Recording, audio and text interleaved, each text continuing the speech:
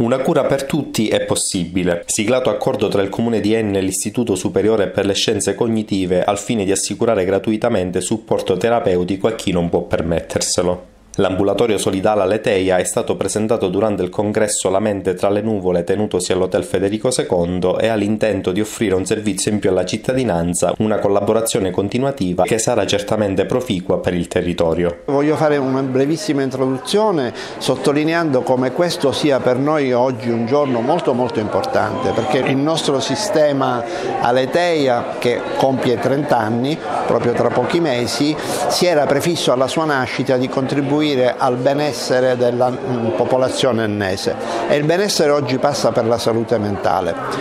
Poiché ci siamo resi conto di avere a disposizione strumenti terapeutici innovativi che possono contribuire alla salute mentale, ma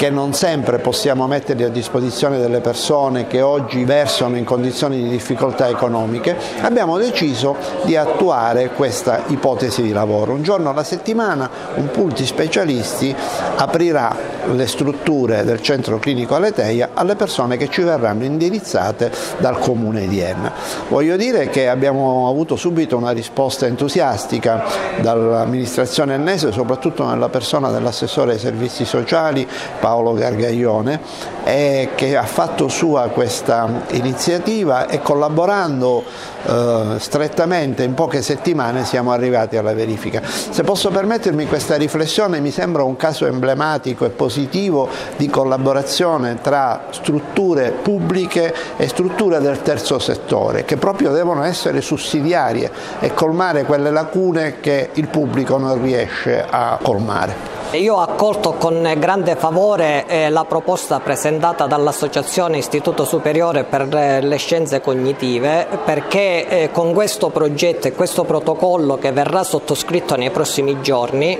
tengo a sottolineare che la delibera è stata già adottata proprio nella giornata di ieri, in pratica non facciamo altro che migliorare il nostro sistema di welfare nella nostra comunità e nella nostra città. Il servizio si rivolge a quei soggetti soggetti che hanno un disagio psichico e che purtroppo in alcuni casi non eh, hanno dire, il supporto dell'ASP e che siccome vivono anche uno stato di disagio economico non possono dire, rivolgersi a delle strutture specializzate.